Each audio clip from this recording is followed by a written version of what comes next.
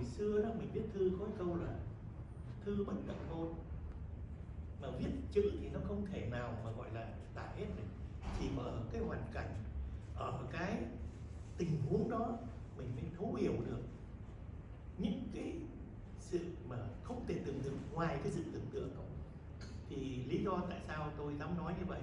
Vì tôi với Phan Nhật Nam nói ngược lại thời gian trước, thì bà mẹ tôi với bà mẹ vợ của Phan Nhật Nam bạn với nhau từ thuở còn con gái cho đến khi lớn lên lập gia đình rồi ừ, ba chìm mày nổi từ ngoài Bắc vô rồi cũng cuối cùng những cái năm tháng cuối cùng thì lại gần cái nhà tôi cho nên tôi với Nam hãy liên lạc với nhau.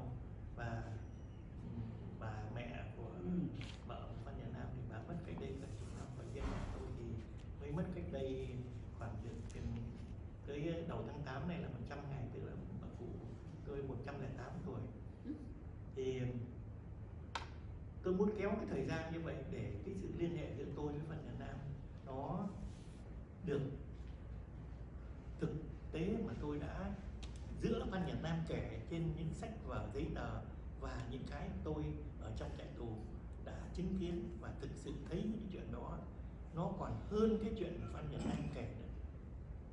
Thành ra đối với mọi người nếu mà đọc cái chuyện này á, nghĩ nó là không tưởng tượng được nhưng mà thực tế nó còn hơn như thế nữa.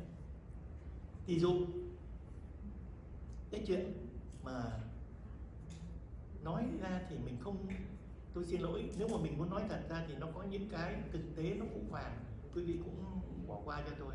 Ví dụ như trong này có cái chuyện ăn phân người. Cái chuyện đó đâu phải chỉ các anh hình sự đó, anh ăn đâu. Mà chính mình thấy những anh em ở trong tù đó, mỗi một buổi sáng ra đó, thì nó có một cái xe mà cái xe đó ở, ở tù ngoài bắc là đi lấy hết nó gọi cái cái cái hố tiêu đó.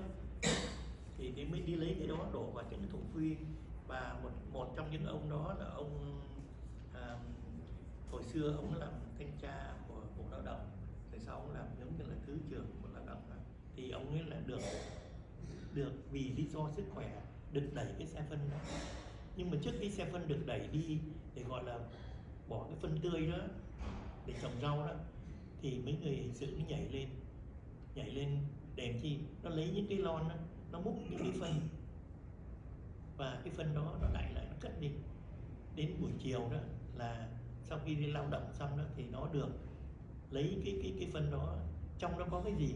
Trong đó có những cái hạt bò bo mà cái hạt bò bo đó không phải cái bò bo mà chúng ta thấy mà để ăn chè đâu.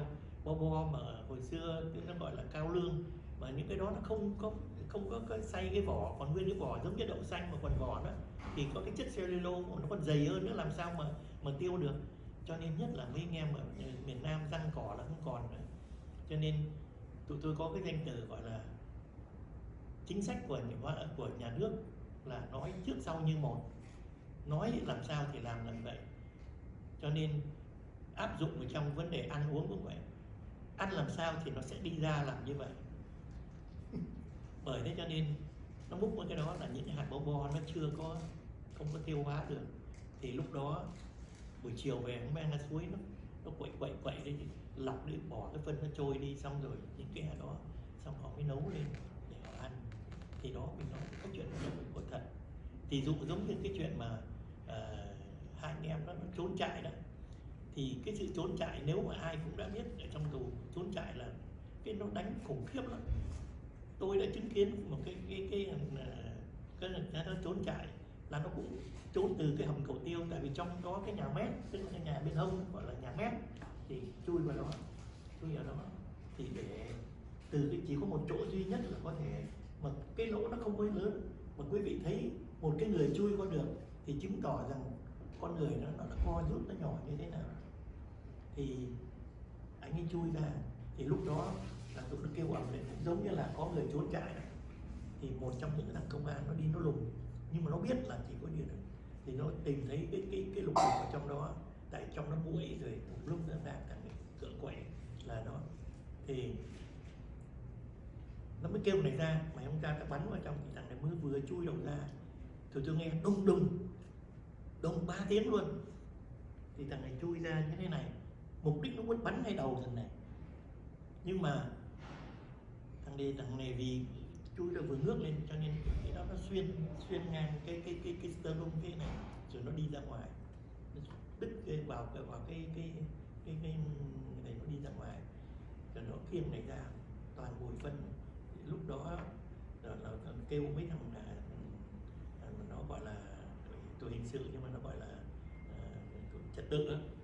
nó đổ nước để cho nó bớt cái phân đi rồi nó kêu tôi xuống tôi tôi mang bó tôi lúc đó tôi coi cái bệnh xá tôi ra tôi không tưởng tượng nổi thằng nó cứ dậy dậy lên đạch tôi tưởng nó chết. Rồi mà phân thì như vậy. Rồi nó chuyển đi đi bệnh xá nó chuyển đi chỗ khác tại vì tụi nó có cái khuynh hướng là cái trại ấy mà có người chết thì nó mất tiền, cho nên nó bán cái thì cho nó bệnh xá đó là một là một cái cái trường hợp một cái trường hợp nữa là đi mót khoai đó mấy đứa hình sự thì lúc đó nó ra một nửa là bên hình sự một nửa bên nó gọi là chính trị tức là mấy anh em sĩ quan ở trong này đưa đi ra ngoài bắc nữa quý vị không thể tưởng tượng được chỉ vì một cái cái đốt khoai và cái khoai khoai đó, nó gọi là những cái cái mà có một người người ở Việt Nam cái anh đó anh ấy khi mà thu hoạch cái khoai đó thì, thì lá thì ăn hết rồi luộc ăn hết rồi. Khoai thì moi hết cho nên lúc mà gọi là thu hoạch ấy, thì làm sao? Còn khoảng những cái cái cái cái đuôi như con chuột thôi thì có một anh em đứng chống lạnh anh người nam ấy nói sao kỳ vậy ta? Trồng khoai mà ra ớt. Quả nhiên nó giống như quả ớt vậy thôi mà có đuôi không mà thì mình mới thấy rằng tất cả những gì văn Việt Nam kể nó chưa diễn tả được cái văn đó những cái sự khủng khiếp đó. Tôi muốn nói đến Nam kể lại cho tôi những cái ngày tháng mà ở trong kiên giam trong tù đó. lý do tại sao? Khi văn Việt Nam mà có cái ông bố, ông ấy vô thăm thì ông ấy làm cái cái cái người hồi đó gia đình văn Việt Nam ở ngoài cái khu của cộng sản. Nhưng mà giống như mình nói hồi xưa để đi vào trong tè tức là đi vô trong, phía trong này này thì bà mẹ làm à, y tá còn à, ông bố thì sau này năm 54 thì tập kết đi ra ngoài Bắc Nam không biết gia đình coi như chết và coi cái ngày cái ông bố đó đi là cái ngày rỗ. Cho đến năm 75 thì ông ấy trở về. Thì chính vì những cái cái cái cái, cái quan đức của Phan Nhật Nam mà hiện nay Phan Nhật Nam cứ nghĩ bị người ta nói rằng là con của cộng sản. Nhưng mà thực sự ra Phan Nhật Nam đã khi mà ông đến thăm Phan Nhật Nam bị cái câu như thế này mà Phan Nhật Nam đã gọi là bị kiên giam gọi là kiên giam tức là giam không giam isole giam mà cùng hai chân là ông nói viết cái cuốn đá nát vàng phai. Tức là những người sĩ quan bây giờ nó quý vị thấy cái chữ đá nát vàng phai là đã thấy được cái cái cái cái cái, cái, cái ý nghĩa của nó như thế nào rồi. Nhưng mà ngay cái cái cái đầu bìa đó anh ấy đề rằng là đời tôi không có gì ân hận kể cả bị thương trong ruột hai ba cục bằng ni lông nhưng tôi chỉ có ân hận và tôi rất buồn khi có người cha cái xuống dòng viết chữ hoa hành nghề cộng sản. Ông coi nhưng mà ông lại giống như hành nghề cộng sản. Chính vì cái chữ đó, đó mà tụi nó thù văn Việt Nam đến độ mà, mà nó đưa cho cái cái cái cái cái, cái người bạn bạn này đó là có người vợ dạy ở trường Colette group là quốc tịch Pháp mà cái này nó cũng uh, uh, quốc tịch Pháp. Cho nên là nó được bảo lãnh nó đi ra thì nó được ra sớm thì phần Việt Nam mới gửi trong này nhưng mà khi đi ra rồi đó thì nó bị bị bị ờ, bị khám xét kỹ quá thì nó lấy được cái đó và từ cái đó mà phần Việt Nam đã bị tù. Tôi cùng đơn vị với phần Việt Nam và tôi cũng đi tù cách nhau một cái hàng rào. Thì nó biết tụi tôi là cái đơn vị đó cái đơn vị đó là cái đơn vị đối đầu trên cái bàn hội nghị với tụi nó tức là ban liên hợp quân sự bốn bên.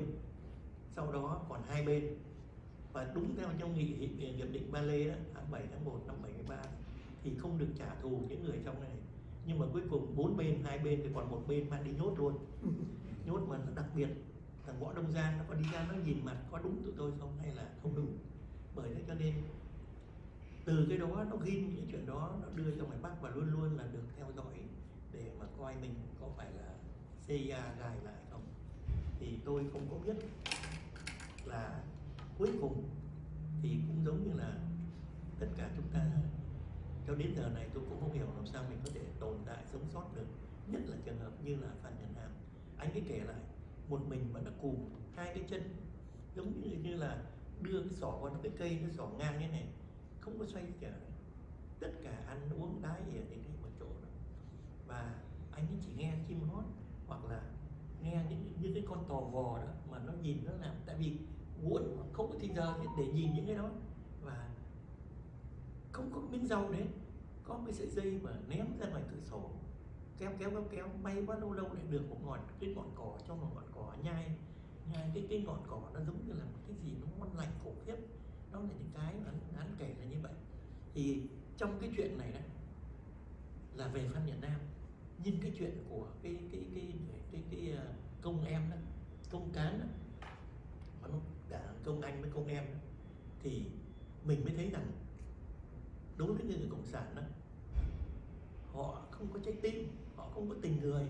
Và nó coi như là cái chuyện đánh đập hay là những người ta đó, nó là những cái thú vui nhưng là một những cái nó gọi là nếu mà trong tiếng pháp gọi là sadic ấy, tức là nó, nó, nó, nó, nó, dùng những cái đau đớn của người khác làm cái cái cái niềm thú vui của mình.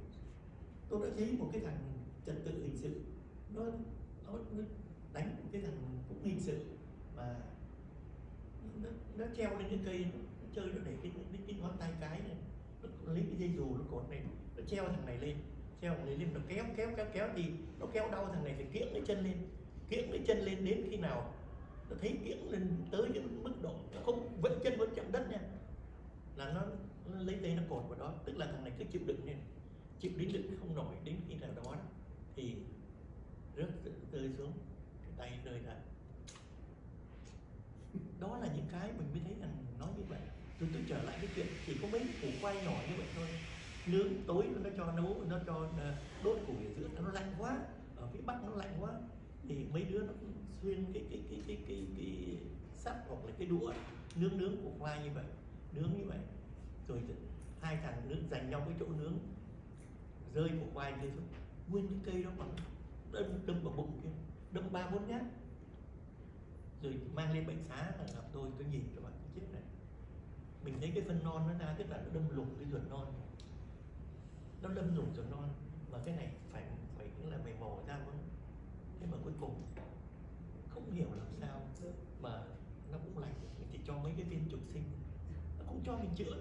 Nó cho mình chết mấy cái thằng nó quậy lắm thì mình mới thấy, bởi vậy cho nên trong cái chuyện này tôi muốn nói đến, nếu mà không có dịch ra tiếng sinh ngữ anh hoặc tiếng pháp để cho cái thế hệ nối tiếp và thế hệ sau họ hiểu, họ nghe những lời tuyên truyền, nhất là bây giờ có cái nhóm viết lại cái lịch sử nhóm của các giáo sư cường vũ.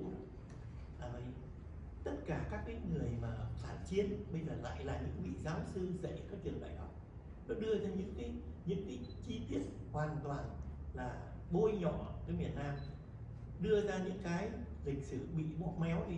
Cho nên rằng là cái sự hiện diện của chúng ta ở đây, cái sự đóng góp của những người lính ở đây đã bị, ngay cả những người lính Hoa Kỳ nữa. Mình mới thấy chuyện này tuy nhỏ nhưng đối với tôi nó là giá trị rất là lớn.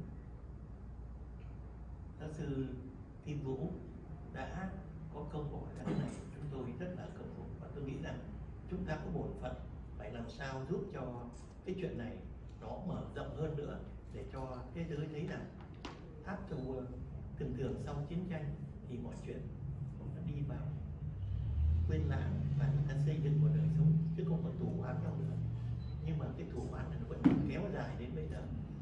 Đây là